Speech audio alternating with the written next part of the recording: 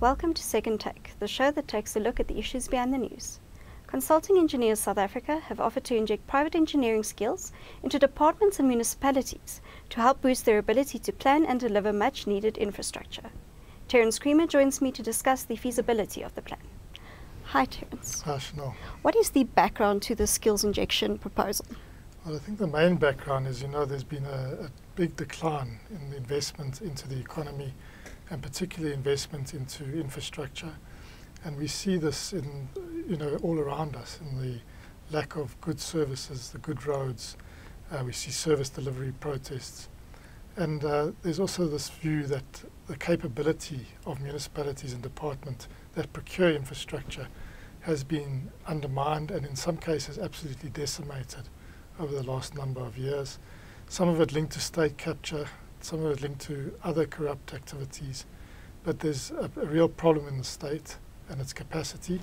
And in fact, when uh, President Cyril Ramaphosa met with business at the Business Economic Indaba in early January, he said that when he looked at his list of top priorities uh, from the State of the Nation of 2019, the June State of the Nation, he realized that he had put capable state and an ethical state in that list, but he said it actually needs to come right to the top, along with things like job creation, economic transformation, education.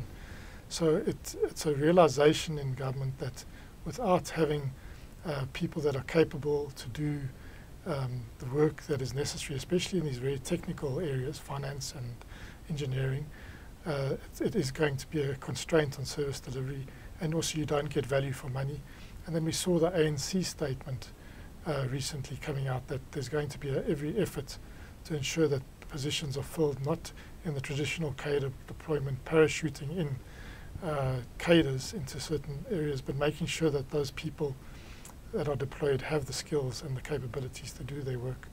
So that's really the background, but it's also in a context of a lack of project uh, pipeline.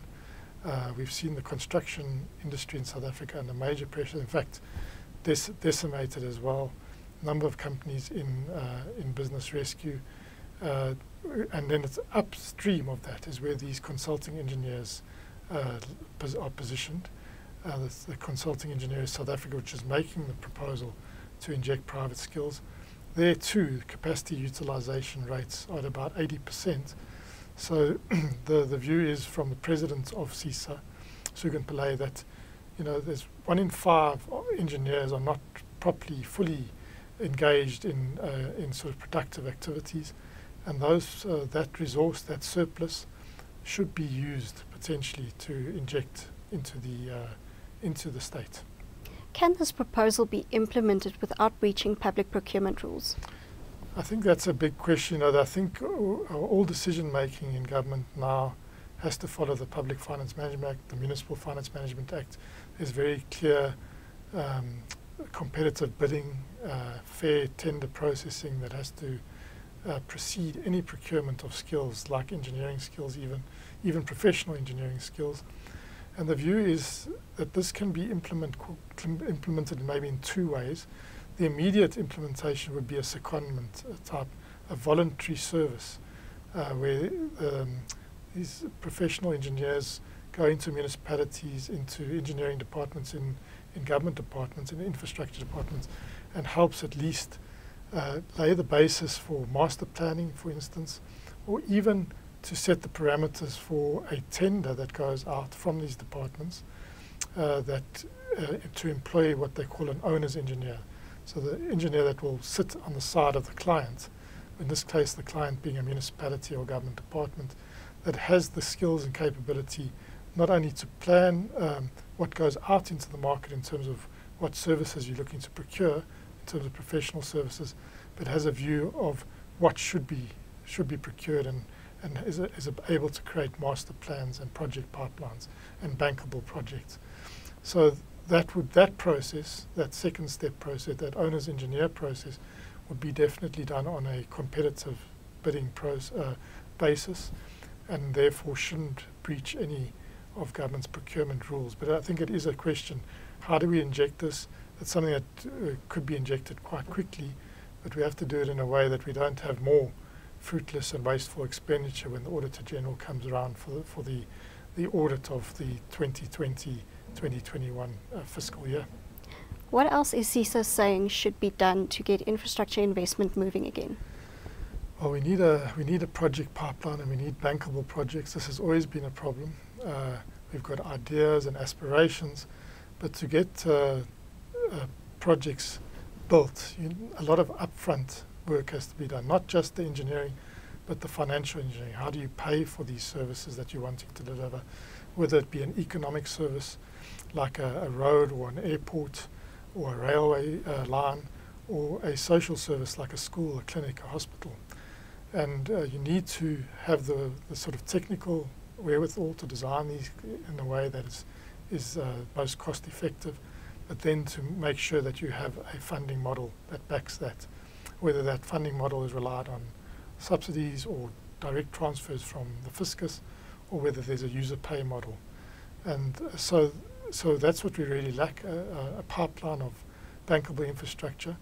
But there are instances in South Africa already where we've had very successful procurement processes. And one of those is the Renewable Energy Independent Power Producer Procurement Program. And CESA says in the current context, where the lights are going off, there's no doubt that that program should be uh, resuscitated. We haven't had a bidding round since around 2015 when we had the so-called expedited round for renewable projects, which were never, ironically, expedited but never procured, or actually procured but never financially closed. So we had a list of projects because Eskom refused to uh, sign power purchase agreements for those projects. Obviously, that's an obvious one that worked. It's successful. Obviously, there, there's a way to tweak them in the interest of maybe current government needs, but let's get that going at least. And uh, that was the one and then there's also the SANRAL concessions that were successful in the past, which they would like to see resuscitated.